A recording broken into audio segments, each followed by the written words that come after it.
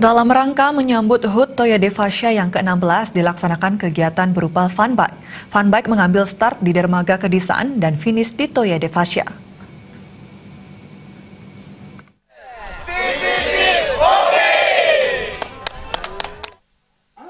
Fun bike dilepas Bupati Bangli, start di Dermaga Desa Kedisan menuju Toya Devasya yang diikuti oleh masyarakat umum dengan melintasi rute sekitar 5 km.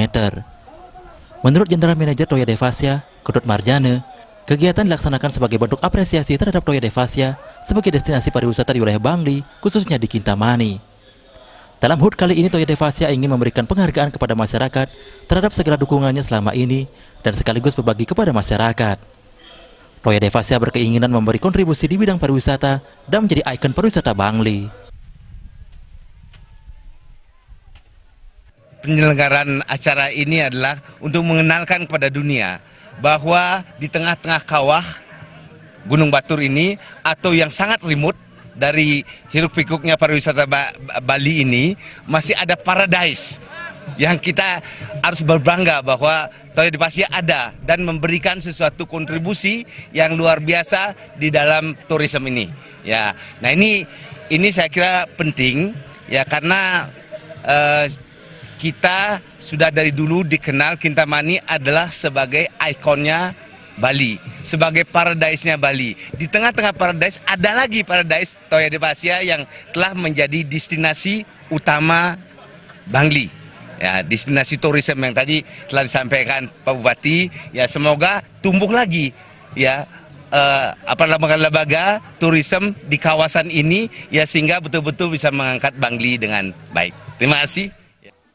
Sementara itu Bupati Bangli mengatakan, di usia yang ke-16, Toya Devasya telah turut serta dalam mendukung perkembangan pariwisata di Bangli. Ke depan Toya Devasya terus berkembang sebagai salah satu tujuan wisata terbaik, sehingga mampu meningkatkan jumlah kunjungan wisatawan khususnya di wilayah Kintamani. Hingga di hari ulang tahun yang ke-16 ini, orang berulang tahun adalah luapan rasa bahagia karena telah melampaui pertama satu tahun pertama dan berikutnya rangkaian tali temali kehidupan sudah 16 tahun. Toyo Depasia mulai usahanya merintis usahanya. Dan berikutnya pijakan pikiran 16 tahun yang lalu terbumikanlah sekarang. Toyo Depasia sudah menjadi salah satu ikon terbaik destinasi wisata di Kabupaten Bangli itu tidak terlepas dari kegigihan dari Pak Ketut Marjane yang selalu menata usahanya, tetapi kita bisa melihat hanya pada saat bahagia.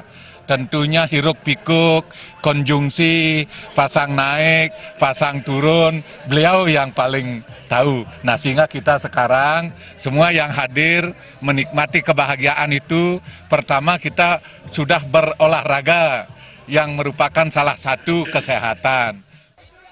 Selain fun bike, kegiatan juga diisi dengan pengobatan gratis, lomba keno, serta lomba renang tingkat SD. Pada kesempatan tersebut dilaksanakan pengundian kupon dengan hadiah utama sebuah sepeda motor, sepeda gunung, dan berbagai hadiah hiburan.